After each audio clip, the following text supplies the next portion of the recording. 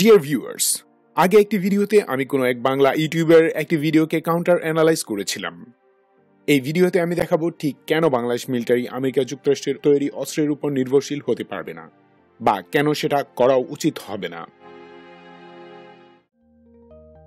আপনি যদি defence update Bangladesh চ্যানেলটি সাবস্ক্রাইব করে থাকেন, তাহলে আপনাকে আন্তরিক ধন্যবাদ। আর যদি অলরেডি সাবস্ক্রাইবার না হন, তো please hit the subscribe button and tap on the bell icon right now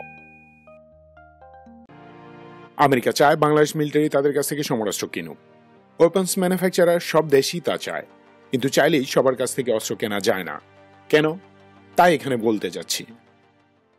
খুব সিম্পলি ফ্যাক্টরগুলো তুলে ধরব।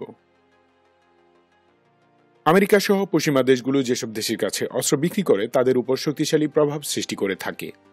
এইসব প্রভাব খাটিয়ে সাধারণ উন্নয়ন প্রকল্প থেকে শুরু করে অনেক ভাইটাল আইন প্রণয়ন, অর্থনীতি নিয়ন্ত্রণ মুদ্রা বাজার মানবাধিকার ইস্যু ইত্যাদি ব্যাপার স্যাপার কন্ট্রোল করার মাধ্যমে মূলত সেই দেশটিকেই তারা কন্ট্রোল করতে চায়। কেন করতে চায়? সেটি বোঝাতে বিশাল ব্যাখ্যা দরকার, তাই আমি ওদিকে যাচ্ছি না। এখন কথা হলো আমেরিকা তো বিশ্বমোড়ল, করুক না কন্ট্রোল না ভাই, তাতে কিছু সমস্যা আছে। সেই সমস্যাগুলো আপনি অনুধাবন করতে পারবেন যদি এটি দেখেন আসলে কারা এশিয়াতে আমেরিকান ওয়েপন সিস্টেম ইউজ করে এবং কেন করে। Mainly Japan South Korea Taiwan Singapore সহ সৌদি জোটের দেশগুলো এসব ওয়েপন্সের ইউজার এছাড়াও পাকিস্তান তুরস্কও করে।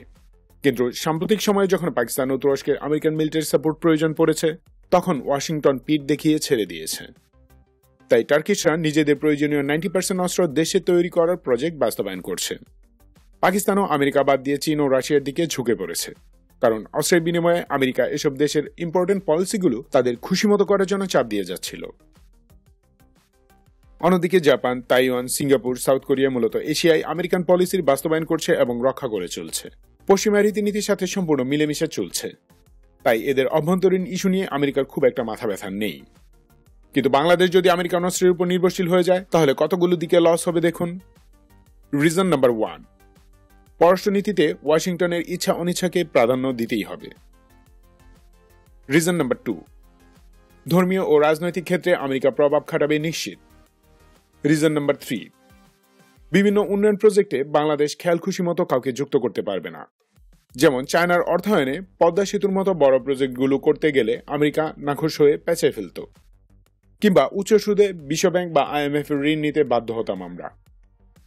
রিজন নাম্বার ফোর ওয়াশিংটনের কথা মতো যুক্তরাষ্ট্রের আঞ্চলিক প্রতিপক্ষের বিরুদ্ধে গিয়ে কাজ করতে হতো। রিজন নাম্বার ফাইভ আমেরিকান অস্ত্রশস্ত্রের দাম অপারেশনাল কস্ট ও মেনটেন্যান্সের কস্ট দুনিয়ার অন্য যে কোনো অস্ত্রের চেয়ে অন্তত পক্ষে দুই গুণ বেশি। কিন্তু কার্যকারিতা অন্যগুলোর মতোই কিংবা তার চেয়েও কম। যেমন, একই ধরনের মিশনের জন্য American A one Z Viper attack হেলিকপ্টারের চেয়ে Russian M I thirty five M তিন চার গুণ বেশি ফলাফল দিবে। রিজন নাম্বার সিক্স আমেরিকান ওয়েপন্সের চেয়ে রাশিয়ান ওয়েপন্সের সহজলভ্যতা অনেক বেশি। রিজন নাম্বার সেভেন আমেরিকা যাকে অস্ত্র দেয়, তাকে সে উন্নয়ন করে দেয় না। পাকিস্তান, তুর্কি, South Korea, Laos, Cambodia, Philippines এর উদাহরণ। এশিয়াতে আমেরিকার যে কয়টি মিত্র দেশ শিল্পোন্নত হয়েছে, তাদের সবাই হান্ড্রেড পার্সেন্ট নিজের চেষ্টায় উন্নত হয়েছে। আমেরিকা সরাসরি কোনো ভূমিকাই রাখেনি। রিজন নাম্বার এইট এসব কারণ ছাড়াও আরও একটি কারণ হলো ভারত কিছুতেই বাংলাদেশকে আমেরিকান অস্ত্রে সজ্জিত হতে দেবে না এবং এটা বুঝতে বুদ্ধিজীবী হওয়া লাগে না। রিজন নাম্বার নাইন নতুন ধরনের ওয়েপন সিস্টেমে পুরো একটি বাহিনীকে দক্ষ করে তুলতে হলে বছর বছর সময় লেগে যায়। বাংলাদেশের এখন সে সময় নেই। আমরা রাশিয়ান ও চাইনিজ মেড অফেন্সিভ ওয়েপন্সে অভ্যস্ত। যুদ্ধের সময় এসব ওয়েপনের সর্বোচ্চ ফলাফল আদায় করতে পারব। সো নতুন ওয়েপন সিস্টেমের রিস্কটা অনেক বেশি এখন। প্রতিবেশী এক প্রতিপক্ষকে এমন কোনো সুযোগ দেয়া যাবে না কিছুতেই। অ্যান্ড রিজন নাম্বার টেন যে কোনো দেশ আমেরিকার অস্ত্র কিনতে গেলে সেই দেশকে আমেরিকান কংগ্রেসে কয়েক ধাপের অনুমোদন নিতে হয়। কোন মুসলিম দেশকে যদি আমেরিকান এস্টাবলিশমেন্ট হান্ড্রেড পার্সেন্ট বিশ্বাস করতে না পারে, তাহলে সে দেশকে তারা অস্ত্র দেয় না, কোনো না কোনোভাবে আটকে দেয়।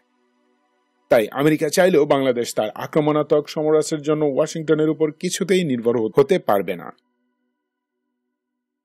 Thanks for watching this video. Long live Bangladesh.